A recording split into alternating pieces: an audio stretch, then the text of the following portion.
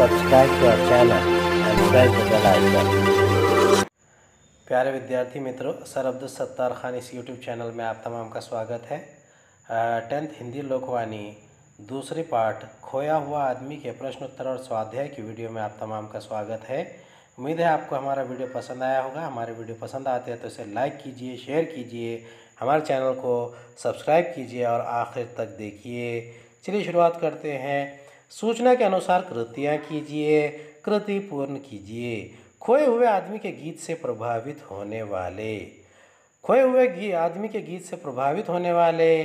गाँव की गाय, गाँव की भैंसे, गाँव के बच्चे, गाँव के बड़े बुज़ुर्ग। उत्तर लिखिए, खोए हुए आदमी के आने से गाँव की बदली हुई स्थिति। खोए हुए आदमी के आने से गाँव की बदली हुई स्थिति। एक गाँव वाले खूब मेहनत करने लगे। दो गाँव का तालाब मछलियों से भर गया। तीन गाँव के पेड़ फलों से लद गए। चार खेतों में फ़सलें लहलहाने लगी। तीसरा ऐसे प्रश्न तैयार कीजिए, जिनके उत्तर निम्नलिखित शब्द हो। भविष्यवाणी, झमाझम बारिश, खुशहाली, गंधक। खोया हुआ आदमी प्राकृतिक आपदाओं के बारे में क्या करता था यानी भविष्यवाणी करता था? बच्चे बड़े किसमें भीगने का आनंद लेने लगे? बच्चे बड़े झमाझम बारिश में भीगने का आनंद लेने लगे। खोए हुए आदमी की मदद गाँव वालों के लिए क्या लाई? खोए हुए आदमी की मदद गाँव वालों के लिए खुशहाली लाई। उस रात गाँव में कि, किसकी गंध फैल गई? उस रात गाँव में गंधक की गंध फैल गई। ये चौथा प्रश्न है, ये निर्देश अनुसार पढ़ती परिवर्तन करना है, विद्वान, लिंग, वचन, विरुद्धार्थी और पर्यायवाची। विद्वान, इसका लिंग है पुल्लिंग, वचन एक वचन है, विरुद्धार्थी शब्द है इसका मूर्ख, और पर्यायवाची विद्वान का बुद्धिमान। अभिव्यक्ति मानवता ही सच्चा धर्म है। इसका उत्तर लिखना है संसार में अनेक धर्म हैं और इन धर्मों को मानने वालों के अलग अलग मत है। प्रत्येक धर्म के लोग अपने धर्म को सर्वश्रेष्ठ मानते हैं। लोगों को यह बात समझनी चाहिए कि इस तरह की सीमित भावना मानवता के खिलाफ है। जाति धर्म की भावना को ध्यान में ना रखकर उदार भावना रखनी चाहिए। हमें ऐसा कार्य करना चाहिए जिससे मानव जाति का कल्याण हो, यही मानवता है और यही सच्चा धर्म है। निम्नलिखित वाक्यों में आए हुए अव्ययों को रेखांकित करते हुए उनके भेद लिखिए। उसके जहन में उसका नाम और पता पूरी तरह खो चुके थे।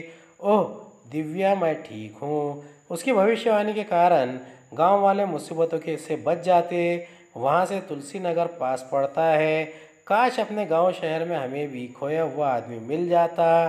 कभी कभी मेरा मन उच्चाकाश में उड़ने वाले पक्षियों के साथ अनंत के ओर छोर नापना चाहता है।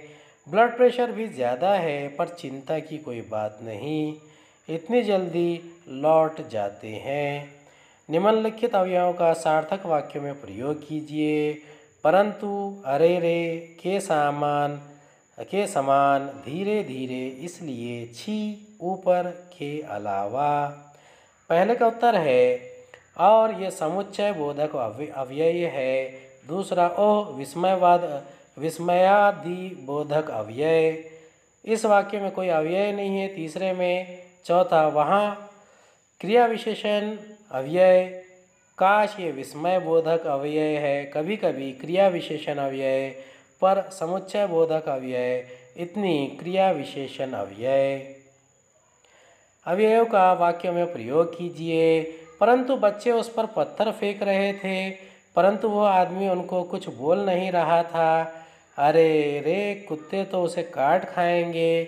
के समान, वह आदमी तो किसी संत के समान लग रहा है। चौथा धीरे धीरे गाँव के लोग धीरे धीरे खोए हुए आदमी के मित्र बन गए। पांचवा है इसलिए वह आदमी चीथड़ों में लिपटा था इसलिए लड़कों ने उसे पागल समझ लिया। छठा है छी। छी मेरे सा, सामने से ले जाओ इसे। ऊपर वो ऊपर बैठा है। आठवां है के अलावा? गाँव वालों को मानवता के अलावा अब कोई दूसरा धर्म याद नहीं याद ही नहीं था। उम्मीद है ये वीडियो आपको पसंद आया होगा। अगले वीडियो में फिर से मिलेंगे। तब तक के लिए खुदा हाफिज़।